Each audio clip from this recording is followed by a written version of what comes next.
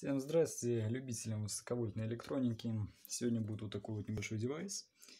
Катушка Tesla на импульсной лампе GMI 6.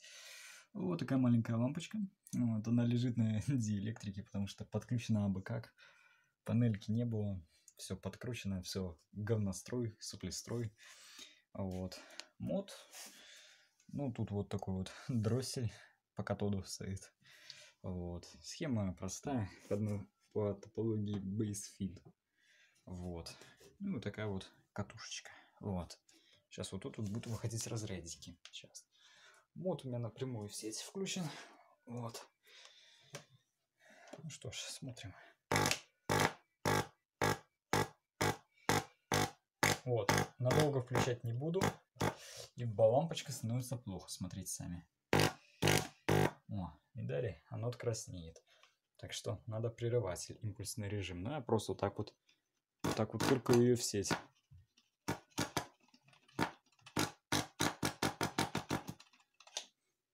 Вот, вот такая вот маленькая катушка.